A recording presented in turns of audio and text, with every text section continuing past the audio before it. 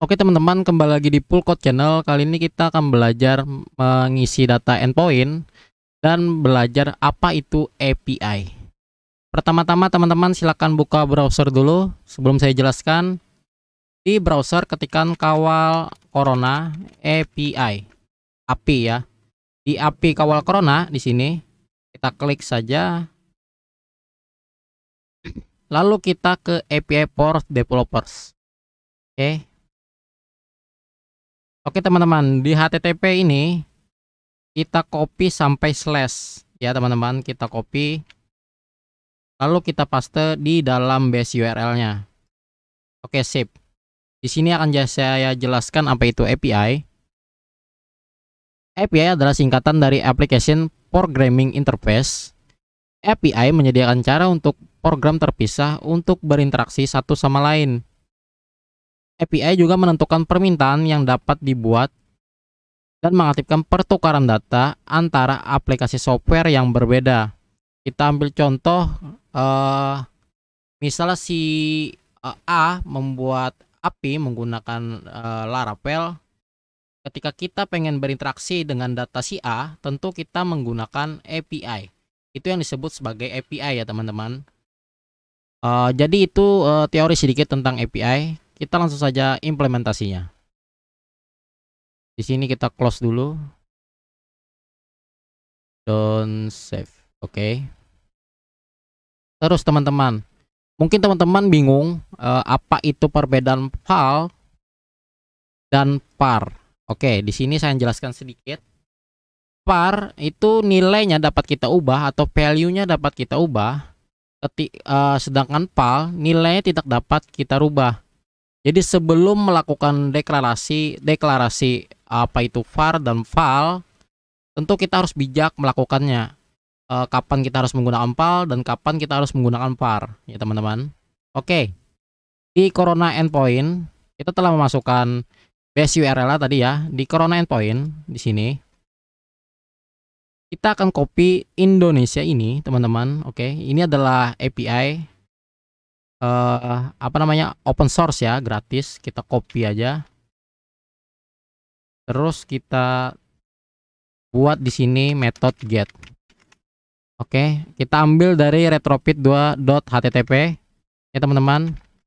Dan kita masukkan Indonesia di dalam sini lalu di sini kita buat fun get Indonesia oke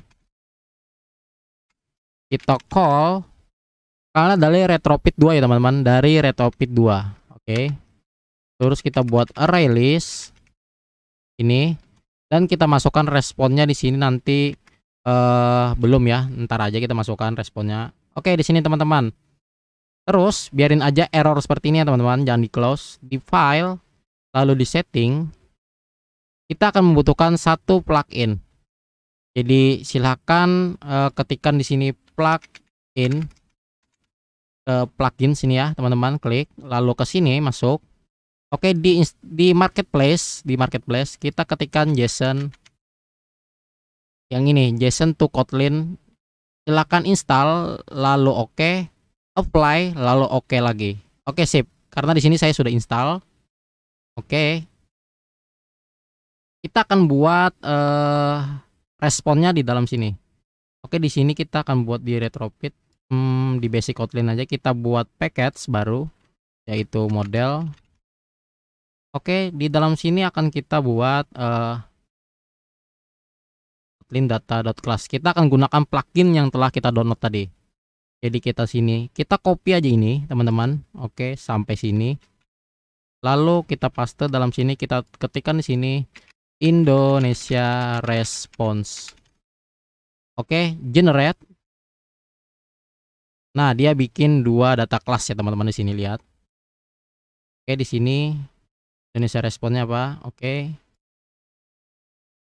Oke, di sini akan kita ganti uh, Indonesia respon aja ya. Respon dan ini akan kita hapus Indonesia responnya. teman-teman. Jadi klik lalu delete aja ya. Delete. Di sini akan kita rename. Refactor lalu rename ya teman-teman. Kita hapus item ini. Kita nggak butuhin item. Kita sampai respons saja lalu refactor oke sip. Di sini uh, kita akan buat serial name ya. Kita ambil meninggal ini kita copy dalam sini jadi kita rapikan oke. Terus kita buat lagi. Mungkin kita kasih spasi lagi biar kelihatan jelas. Oke kita ambil name.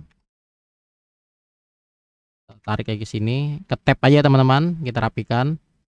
Terus di sini kita buat lagi serial name lalu dari positif copy aja. Tab coba kita lihat. Oke huruf kecil semua. Di sini juga. Serial name lalu sembuh ya ini ya. Copy aja save oke. Sampai sini kita close dulu. Kita ke corona endpoint dan kita masukkan Indonesia respon tadi. Yang ini ya teman-teman. Oke sip terus kita akan buat lagi Kotlin data class lagi kita akan buat yang di bawahnya teman-teman. Yang ini. Jadi copy aja sampai bawah. Copy. Kita paste dalam sini. Lalu kita buat ini adalah provinsi response. Provinsi response. Generate. Sip. Dia akan uh, generate tiga data ya teman-teman. Sini data class kita akan lihat data kelasnya provinsi respon. Oke, ini kita hapus saja. Kita delete.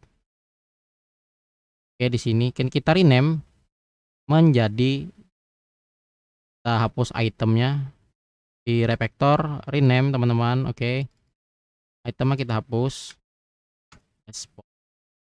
Oke sip. Di atribut. Oke di sini karena ini tidak sesuai dengan rules oleh si Kotlin, maka kita akan gunakan serial name tadi ya teman-teman.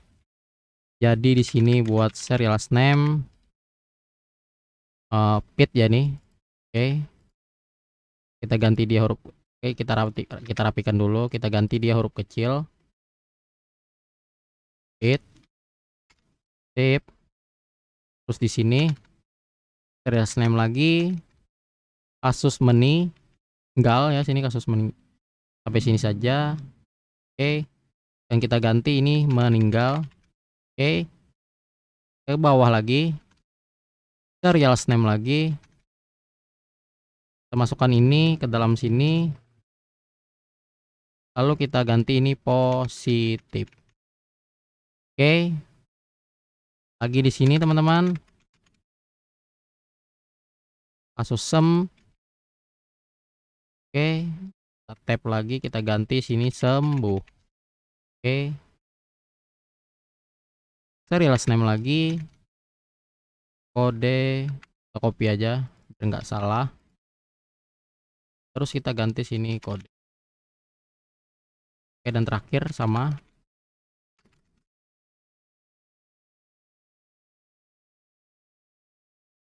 Sip. Tap kita ganti provinsi. Oke. Oke, sip. Kita ke endpoint, teman-teman. Kita buat lagi sini satu metode get ya dari retrofit 2. kita copy aja yang ada di sini dari Indonesia sampai ke provinsi. Kita copy, kita paste dalam sini. Oke, kita buat fun get provinsi ya teman-teman Oke. Kita panggil call dari retrofit 2 terus kita buat array listnya dari si mana nih?